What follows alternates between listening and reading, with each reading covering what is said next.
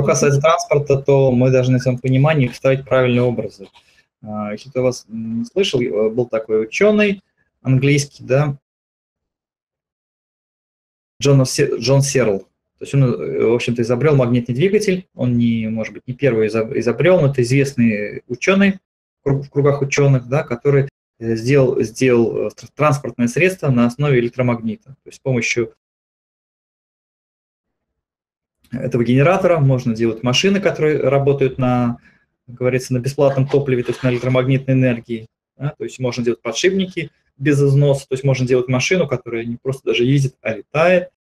То есть а, наше средство передвижения как минимум должно быть основано на этом принципе. Вот к этому нужно стремиться. Как говорится, машины без колес, машины, которые летают.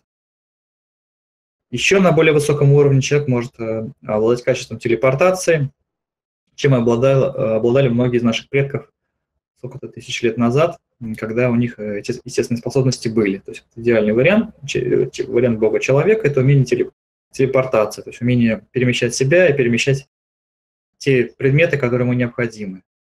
То есть те правильные образы, связанные с, скажем так, с транспортом.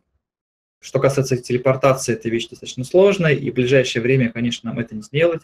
Что касается электромагнитного двигателя, то есть если бы вот не, скажем так, мировые мировое закулисье, то есть если бы не паразитическая система, которая управляет миром, то есть этот двигатель, он фактически уже изобретен. Вот таким, вот таким этот двигатель должен быть. Я недавно э, видел в интернете, президент Беларуси Лукашенко как бы так очередной раз э, пожаловался на то, что в Беларуси нет энергоресурсов, ну, в частности, там, газа, нефти, э, что вот э, Беларусь тратит, тратит большое количество ресурсов на, на покупку этих, э, скажем так, топливных ресурсов и поставил задачу как бы своим типа ученым разработать какой-то энергоноситель.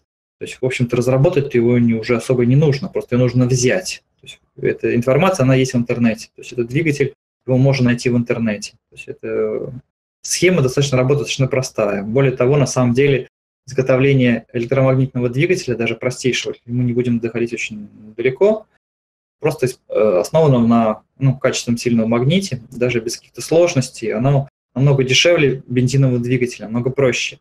То есть если бы те, кто производит современные машины, сталкивались от интересов людей, да, то есть сделать дешевый автомобиль из нержавеющей стали, который будет, э, не будет ломаться и будет ездить практически вечно, ну, то есть достаточно просто.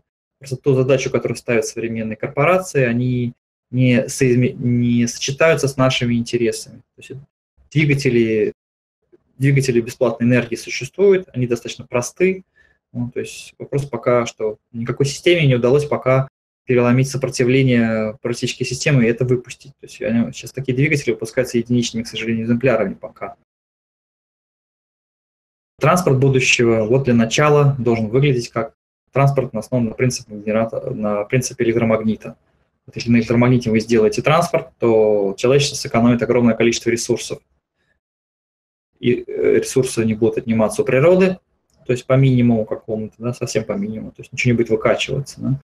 И человек, скажем так, не будет загрязнять окружающую природу и не будет только тратить ресурсов на поддерживание работы системы. Вот это транспорт будущего.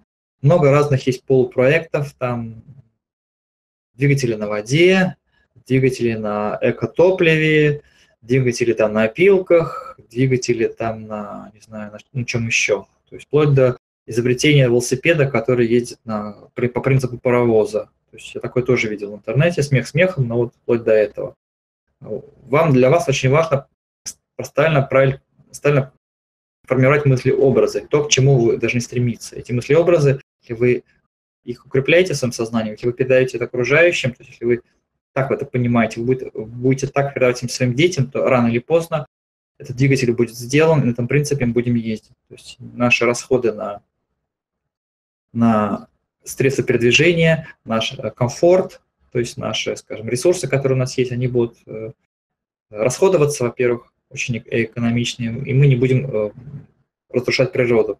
Э, что касается нашего средств передвижения, а это может быть и транспорт наземный, это могут быть и самолеты по этому принципу могут строиться. Вот я бы такой образ создал. Что касается каких-то еще систем, я со всеми системами не знаком, я посмотрю, что такое струнная система, да, но вот если говорить так про реалии, то это достаточно реально, достаточно просто. Ну, на самом деле. Вот если вы предприниматель, у вас есть деньги, у вас есть власть, это сделать достаточно просто.